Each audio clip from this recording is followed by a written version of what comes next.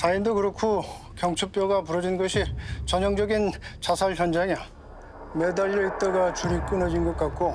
근데 죽기 전에 고통스러웠는지 눈물을 꽤 많이 흘린 자국이 있어.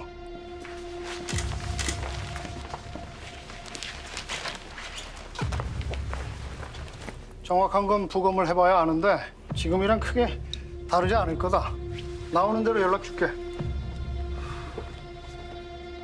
괜찮으세요? 이렇게 해서라도 도망가고 싶었나 보지. 너무 신경 쓰지 마라. 도끼새끼 자살한 거 아닙니다. 누군가 목플라 위로 와이어를 걸고 목뼈를 부러뜨려 질식사시킨 겁니다. 여기 이게 증거예요. 게다가 이 미친 새끼 교묘하게 안쪽으로 눈물샘을 뚫어 눈물을 흘리게 만들었어요. 도기 새끼는 내가 누구보다도 잘 압니다. 살아보겠다고 경찰 따돌리고 도망친 새끼가 지 목숨 절대 안 끊어요.